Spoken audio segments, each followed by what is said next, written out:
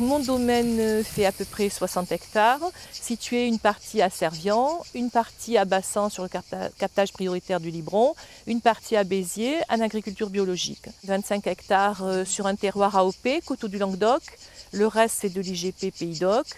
Euh, on amène les raisins à la cave coopérative Terroir en Garrigue et une petite partie est vinifiée par nous-mêmes à Béziers dans notre cave et vendue en bouteille. Nous sommes en pleine involution, donc je me suis inspirée de mon jardin où tout est mélangé pour euh, introduire euh, l'agroforesterie dans les vignes et de l'enherbement euh, pour une plus grande diversité. On a planté des grenadiers, des oliviers pour l'huile et pour la bouche et j'envisage de planter des plaques miniers pour des kakis. On a planté 3 km et quelques 3200 arbres, arbustes.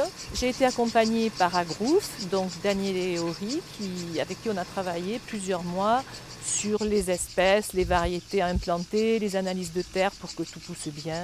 Nous allons étendre le projet à l'ensemble des parcelles au fur et à mesure. J'ai commencé dans les plantiers de l'année et petit à petit, au fur et à mesure des arrachages, du renouvellement du vignoble, on intégrera systématiquement des arbres et des arbustes dans les vignes.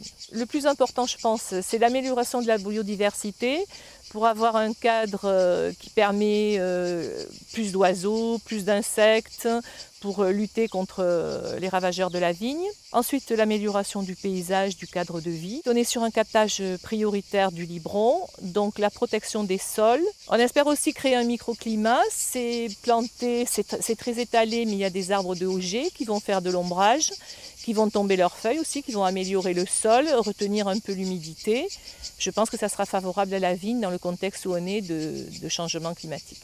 Alors ça a été euh, pour les végétaux, les protections, le paillage, etc.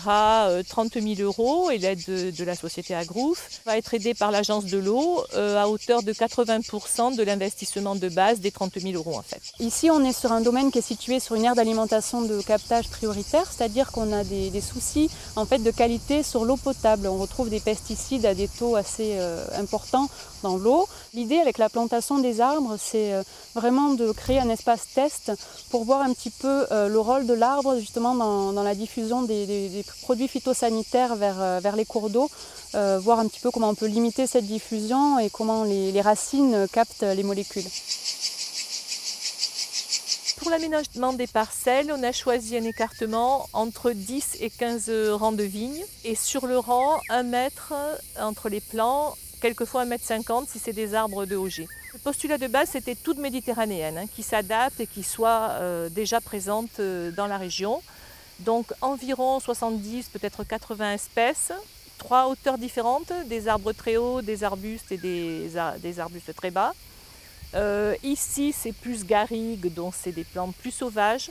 Près du domaine, la grande parcelle de 4 hectares, il y a beaucoup d'arbres fruitiers. On a travaillé sur des axes de corridors écologiques, hein, c'est-à-dire qu'il y a peu de rangs et en fait, on est entouré euh, par des bois et des haies naturelles. Donc on a pris le bout pour rejoindre ce côté parce que ici, je voulais favoriser euh, les chauves-souris, les mésanges, euh, toute cette faune et qui ne savent pas se déplacer s'il n'y a pas de repère. Donc elles suivront pour aller d'un bout de la parcelle à l'autre et éventuellement chez le voisin. L'espèce doit d'abord répondre aux objectifs fixés par le porteur de projet.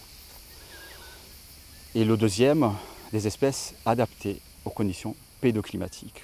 Et après, il y a aussi le lieu, le paysage, la géologie, euh, la végétation, euh, qui, sont là pour nous permettre d'identifier les éléments qui vont nous aider à construire euh, le projet. Adapté aussi aux évolutions du climat, qui nous impose souvent de diversifier beaucoup plus en termes de nombre d'espèces de ce qu'on aurait pu faire sans nos contraintes du changement climatique.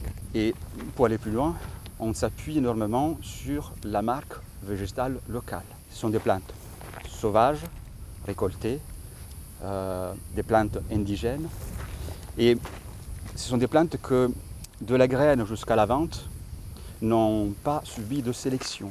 Dans un objectif de, favorisation de, la faune, de la faune sauvage, on cherche à faire en sorte que la faune sauvage les pollinisateurs, euh, les abeilles sauvages, l'abeille domestique, euh, voilà, l'ensemble de la faune euh, arthropode ou, même les mammifères, peu importe.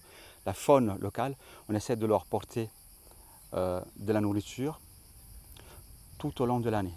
À la sortie de l'hiver, euh, les sols marceaux plantés en contexte humide, les noisetiers plantés en contexte humide vont nous permettre d'avoir du pollen, c'est de la protéine, ce qui permet de nourrir les larves.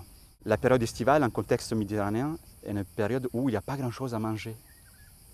Et du coup, avec les tilleuls, les différents, les différents tilleuls, avec euh, le gâtillier, avec l'arbousier plus tard encore, avec l'olière plus tard encore, on essaie de, d'amener quelque chose dans la cuisine, sur la table pour tous ces gens-là, de manière qu'ils puissent trouver à manger en période de, fin d'été et en, en période pré-hivernale, au moment où ils commencent à faire les réserves pour la période la plus difficile, euh, l'hiver. La contrainte majeure, ça a, été, ça a été le temps en fait, et je n'avais pas anticipé que ce temps-là, je ne pourrais pas le consacrer aux vignes. On a beaucoup de plantiers, donc les plantiers n'ont pas été soignés comme ils auraient dû être, hein, ça c'est certain. On a eu trois jours à 20 personnes, et puis peut-être 15, euh, 15 ou 20 jours de travail à 4 pour la plantation uniquement. Pour l'entretien à venir, euh, non, ça ne me fait pas peur parce qu'en fait, on a remplacé des rangs de vignes. On va passer avec des outils, on va rogner, qu'on rogne euh, une rangée d'arbres ou qu'on rogne euh, une rangée de plantes de vigne. Ça ne change pas grand-chose. Je pense que ça ne sera pas énorme. En attendant que mon projet d'agroforesterie me permette de, baisser les intrants et les produits phyto, sur ce secteur, on utilise la confusion sexuelle, donc sur 5 ou 6 hectares, 7 même maintenant. Euh, au milieu d'un îlot à peu près de 100 hectares euh, avec mes voisins. Ah oui, oui, le, premier enjeu, en fait, oui, c'est de modifier le paysage, d'éviter ces mers de, vignes, euh, alors monocépage, monoclone. Ça joue, ça joue aussi sur l'image de marque, on va communiquer là-dessus. C'est un projet que je fais aussi parce que mes enfants s'intéressent à, la vigne, au vin, et sinon peut-être que je ne l'aurais pas fait, en tout cas pas aussi ambitieux. Ah le premier projet, c'est de continuer d'accélérer bah, tout ce que maman a fait sur le domaine. Quand on parle de changer de la monoculture où on n'a que des, mers de vignes, de passer à de l'arboriculture, à passer différents types de production sur le domaine, augmenter la qui va être partie qui va être liée aux grenades, augmenter le nombre de cépages, passer sur des cépages autochtones, passer sur des cépages préphyloxériques.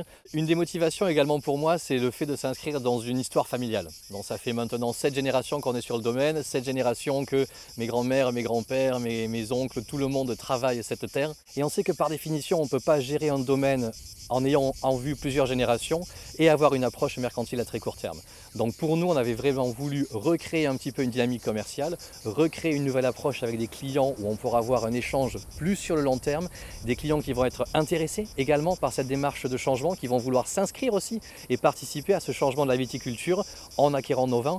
Et puis j'y tenais, je prends le risque et j'y crois hein, de toute façon.